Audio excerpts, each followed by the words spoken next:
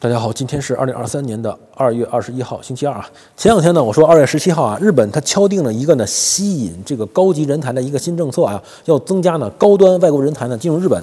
当时我就说呢，我说这个消息看完之后呢，异常的振奋人心。我就说呢，一定要跟中国的小伙伴说一下，因为我觉得呢，这里边肯定会有很多的中国小伙伴，知道吧？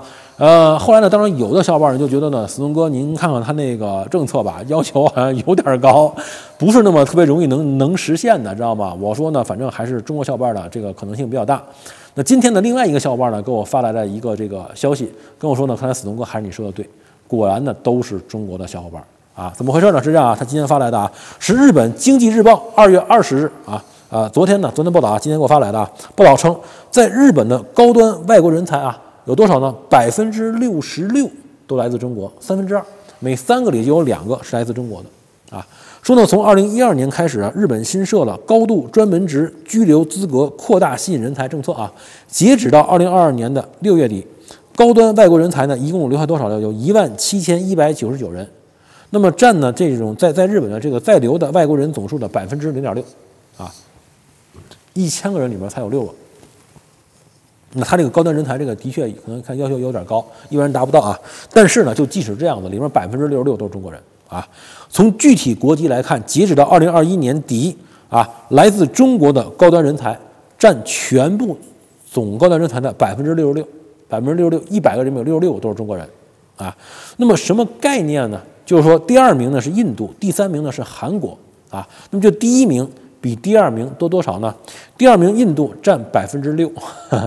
第三名韩国占百分之四，啊，他俩加一起占百分之十，再加上中国百分之六十六，啊，这三个国家占了百分之七十六，然后剩下还有其他国家呢，去去分那点儿去，就什么概念？中国占百分之六十六，印度占百分之六，也就是中国是印度的十一倍，明白吧？就一百个人里面有六个印度人，然后六十六个呢是中国人，然后那六个印度人呢就已经排第二了，后面呢还有四个呢韩国人，你就你就知道这里边就中国人到了一个到了一个绝对统治地位，就领先第二名十一倍。后边剩下那些呢，就就就就更就就都甭算了，不值一提的，在中国面前啊。所以呢，我当时我就跟你说，我说这高级人才呢，主要还是以中国为主。我相信他后边那种更高、更的这种，就是说更高端的这种外国人才里边，也是以中国人为主。这个真是没办法啊。日本经济日报呢也报道啊，说近年来呢，这个日元贬值啊，就是说为什么就是中国人占这么多啊？说一日元贬贬值，以及呢薪资水平较低，是日本难以吸引高端人才的原因。啊，他说，二零二二年的调查结果显示，日本 IT 行业就业人员的平均年收入，你知道多少吗？只有四万美元，真的是不高了啊。那么美国你知道多少吗？它只有美国的一半，美国是八万啊。所以，所以很多小伙伴说说马龙一挣都挣三四十万，这是可能性不是很大啊。二零二二年的时候呢，日本的这种 IT 行业码农平均收入是四万美元，美国的平均收入是八万。所以我跟你说了很多，刚进去的时候都是七万五、八万五。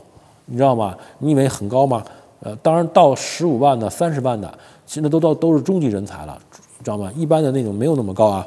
美国呢是八万，日本是四万，平当时平均啊有有有有有高的，对不对？好吧。那么呢，在亚洲，新加坡和香港啊，这些就是说这种高高级人才的薪资已经超过了日本，所以那些人宁愿去什么新加坡和香港，也不愿意去日本，因为你挣的钱太少啊。而且呢，这个韩国首尔的工资水平呢跟日本呢差不多。所以呢，就是说呢，韩国人也不愿意过来，那跟你都差不多，过来干什么，对不对？呃，而且呢，当然现在目前来讲，跟中国还有点差距，所以中国呢还有一些人愿意过去。但是他认为呢，随着中国目前的不断发展，中国的这种平均年收入呢也在不断增加，所以这样下去的话呢，可能想吸引中国人都有难度了。我当然吸引中国人有的时候也不光为了钱，中国有人去日本也是为了其他各种原因，原因很多啊，呃，不仅仅的是这个呃收入的问题啊，所以呢。嗯，但是不管怎么着吧，呃，我还是鼓励吧，中国小伙伴儿啊，反正日本现在在大量的招收呢外国人才，呃，你的机会呢就来了，啊，然后呃，我觉得还有一点呢，日本人可能也他在招收移民的时候，他可能更喜欢韩国和中国人，就相对于印度人来讲，他觉得呢最起码看起来比较像，哈哈，啊，日本也是比较比较比较排外嘛，他也觉得，呃，你包括欧洲也是，欧洲你看他在吸收难民的时候，他对乌克兰难民就比较愿愿意接受，对不对？都是白人。